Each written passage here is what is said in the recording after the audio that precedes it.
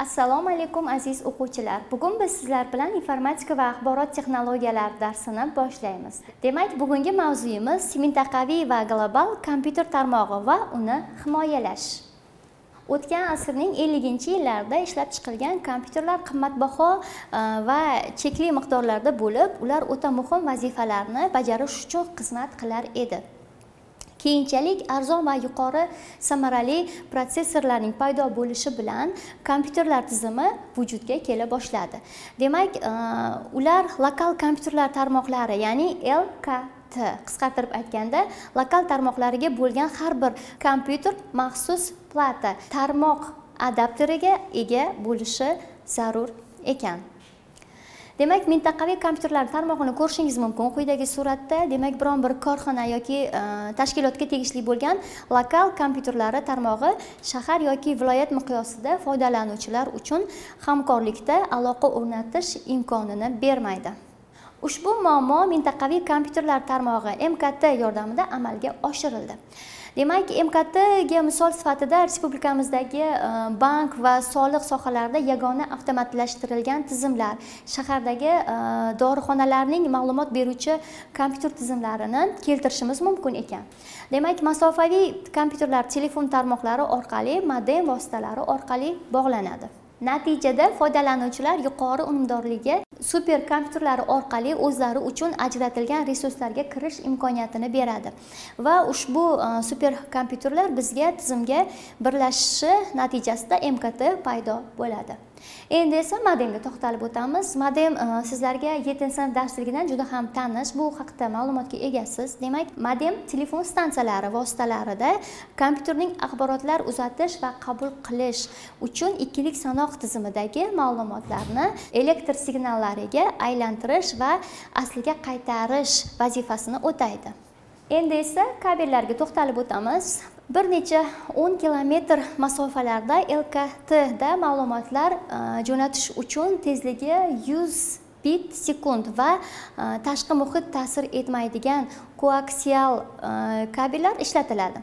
Hozirgi paytda eng keng qo'llaniladigani optik tolali kabellar va nur o'tkazuvchanlik xususiyati bilan farqlanadigan e, optik tolali kabellar plastmassa yoki kremniydan yasalgan tolalar nur o'tkazmaydigan tashqi qobiq bilan o'ralgan bo'ladi. Bunga qo'shimcha qilgan holatda ushbu aloqa vositalari elektr signallari nurga aylanib e, ma'lumot jo'natadi va teskarisi bajarib axborotni qabul qiladi. Ushbu kabelda signal jo'natish tezligi 3 gigabit sekundni tashkil qiladi. Dunyo hamjamiyati tomonidan to'plangan barcha bilim manbalaridan to'la foydalanishi zaminimizda ro'y berayotgan voqea va hodisalarda hamda ilm fan yangiliklarida tezkor xabardor bo'lish yoki ogoh etish uchun global hisoblash to'ri ya'ni GHT dan foydalaniladi.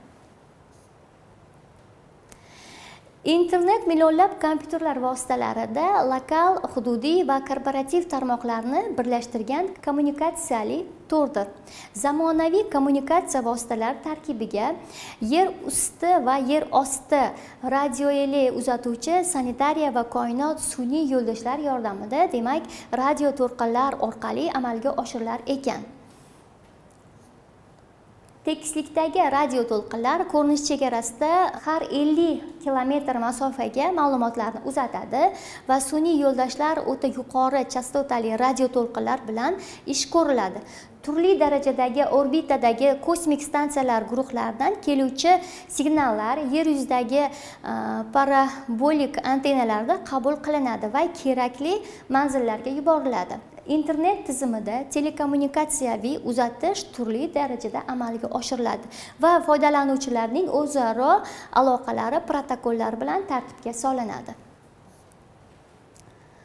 Internet protokoli ya'ni ip to'rlararo munosabatlarni tartibga soladi va aloqa uzatishda yagona muloqot tili standartini aniqlaydi. Endi esa ip adresga to'xtalib o'tamiz. Ya'ni internet tizimiga ulangan har bir kompyuter uchun 32 bitli takrorlanmas manzil. Keyingisi simple mail transfer e, protokol ya'ni smtp internet tizimida pochta uzatish me'yorlarini tartibga soluvchi protokol. Keyingisi udp ya'ni user datagram protokol qabulni tasdiqlanmagan holda ma'lumot paketlarini jo'natishni tashkil qiladi. Keyingisi transmission kontrol protokol virtual bog'lanishlar hosil qilib axborotlarni kerakli manzilga aniq yetib borishini ta'minlovchi protokol hisoblanadi. Va oxirgisi telnet. Internet tizimidagi ixtiyoriy kompyuter bilan ishlash imkonini yaratadi. Hozirgi paytga kelib har bir foydalanuvchi o'z shaxsiy kompyuter vositalaridan e, lokal va mintaqaviy tarmoqlari orqali hamda internet tizimi yordamida butun jahon hamjamiyati bilan demak birgalikda aloqa qilmoqda. Ma'lumotlar uzatadi va turli xildagi ma'lumotlarni qabul qiladi. Lekin internet tizimida oxirgi paytlarda kompyuter jinoyatchiliklariga ham juda ham e, avj olayotgan davr hisoblanadi. E, shu sababli xavfsizligini ta'minlash alohida muhim vazifalardan biriga aylanib bormoqda. Endi esa e, brand brandmourga to'xtalib o'tamiz. Tarmoq xavfsizligini ta'minlashni brand mover tizimi amalga oshiradi. Brand mover nima? Demak ikki va undan ortiq qismlarga ajratilgan tarmoqlardagi qismlar orasida axborot paketini o'tish qoidalariga yaratilgan e, majmuaviy tizimdir.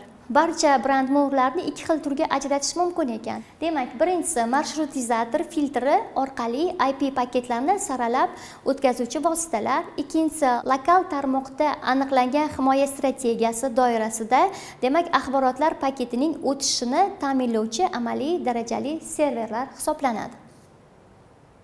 Endi esa kriptologiyaga to'xtalib o'tamiz. Axborot xavfsizligini ta'minlashning eng samarali usullaridan biri bu ma'lumotlarni shifrlashdir. Kriptologiya nima? Kriptos yashirin logos esa fan degan ma'nolarni bildiradi. Ma'lumki himoya qilishning e, asrlar davomida yig'ilgan manbalari va usullariga xos qonuniyatlar o'rganiladi. Kriptologiya fani kriptografiya va kriptotahlil tarkibiy qismlardan tashkil topgan. Kriptotahlil maxfiy ma'lumotlarni ruxsat etilmagan vaziyatlarda ham ochish imkoniyatini boshqacha qilib aytganda deshifrogramma olish usullarini o'rganadi. Shifrlash tizimlari buyuk rim e, imperatori gey yuliy sezar e, choparlari orqali demak xat e, ya'ni e, xabarnoma jo'natmoqchi bo'ladi va o'sha xabarnomani maxfiy ravishda jo'natish uchun demak maxsus o'zining shifrlari orqali jo'natilar edi. Demak o'sha e, jo'natilgan e, xabarnomani demak bu yerda ko'rishimiz mumkin bu jadvalda ko'rishingiz mumkin.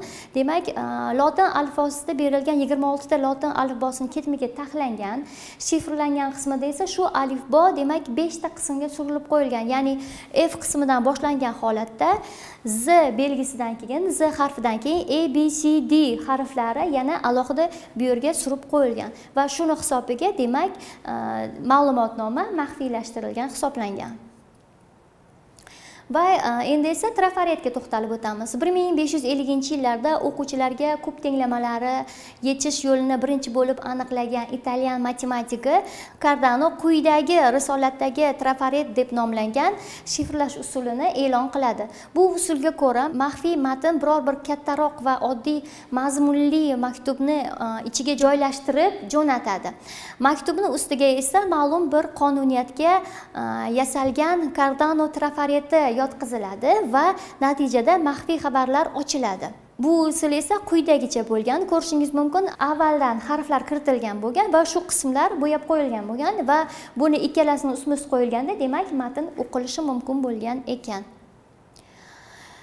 Endi esa e, yuqorida keltirilgan shifrlash usullari uchun kalit lokal tarmoq kompyuterlari tizimidagi faqatgina uzatuvchi va qabul qiluvchi o'zlarigagina ma'lum bo'lishi talab etadi. Aks holda ma'lumotning maxfiyligini saqlash mumkin emas. Simmetrik yopiq kalitlar usuli kalitning faqat uzatuvchi va qabul qiluvchiga ma'lum bo'lishidir.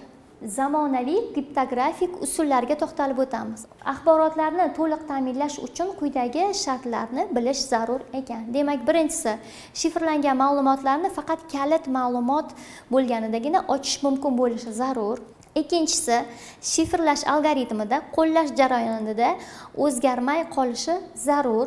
Uchinchisi kalitlar oson aniqlanadigan bo'lishi mumkin emas. Va to'rtinchisi shifrlangan matn uzunligi boshlang'ich matn uzunligiga teng bo'lishi zarur. Yodda saqlang. Kriptologiya ya'ni kriptos yashirin logos fan ma'lumotlarni himoya qilish asrlar davomida yig'ilgan manbalar va usullarga xos qonuniyatlarni o'rganadi. Mustaqil bajarish uchun topshiriq. Birinchisi mintaqaviy tarmoqning asosiy vazifasi nimalardan iborat? Ikkinchisi kriptologiya fani va uning qismlari nimani o'rgatadi? Aziz o'quvchilar bugungi darslarimiz shulardan iborat edi. Har bir vazifani o'z vaqtida bajarib kundalik nuqta com saytiga joylashni unutmang. Xayr salomat bo'ling.